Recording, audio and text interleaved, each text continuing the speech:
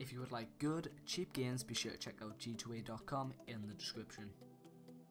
Hello everybody, Liligadan Gaming here and welcome back to another tutorial video on the channel. Today this is going to be a best 1080p 60 FPS setting and I would like to give a big shout out to Sony Wars as he's the one who basically gave me the idea for this render settings as this is what he uses and it has definitely increased my render time by at least 10% and that's really good. So now I can render say a 1080p 60 fps video which is 10 minutes in 20 minutes or half an hour which is incredibly good.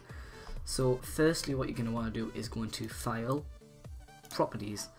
Now this is what's going to come up. First you're going to want to click on the template and scroll down until you find HD 1080 60i then you'll click on that then select 1920 by 1080 non-progressive scan pixel aspect as 1 then you're going to want to select your frame rate. Now this is really important if you want 60 fps you're going to want 59.940 double NTSC then you're going to want 32-bit floating point video levels. Go down. Full resolution rendering quality is best motion blur as Gaussian uh, just leave that as none unsure what it does. Start all new projects with these settings. Go to audio and you can just skip that we don't really need it. And then just hit apply. Okay. And I'm trying to think what we want to use for this. Now okay we'll give you a quick sneak peek. So I am doing a if it wants to work so yeah that is quite a big file. It's absolutely massive. But then this is going to be for my new Black Ops 2 video which I haven't done in a long time. So just have it as okay there's a 4 second long video. So firstly when you import it in that's your video that's your audio. Right click on the video part and click properties.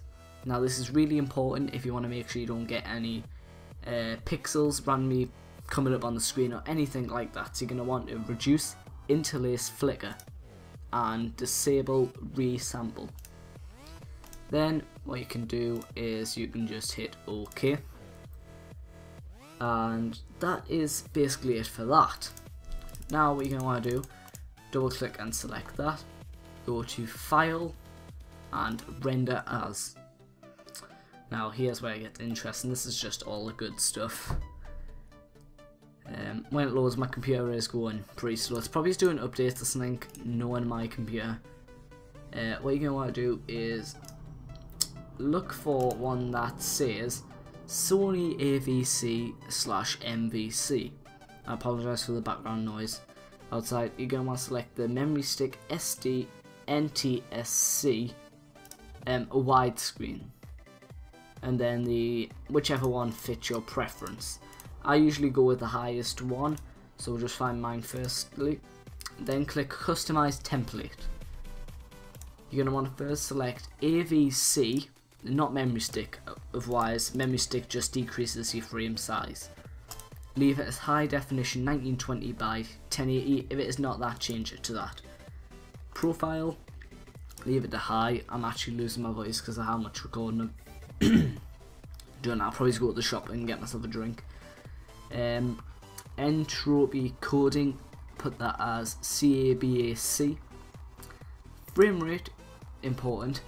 If you want to get 60 FPS, leave it as double NTSC. I forgot to mention, you, this also works for 1080p 30 FPS or 720p 30 FPS or 60 FPS.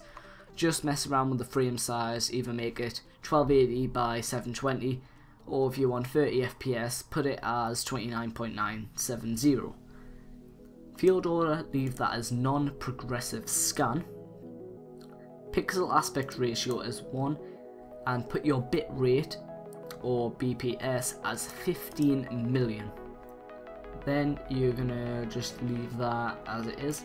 Click on audio, leave it as AAC, the sample rate as 4800 uh, bitrate as 19200 and stereo Next, go to your system.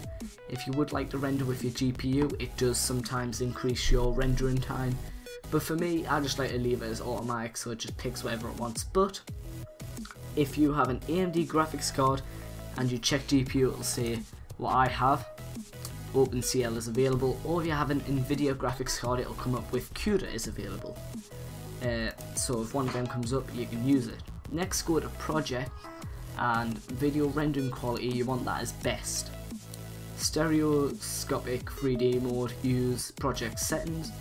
Color space, leave that as default. Then what you're going to want to do is just hit save there, then OK, and then let's just save it in. We will save it to my desktop. So now we are going to name it as, once it selects, we'll name this as 1080p 60 FPS test.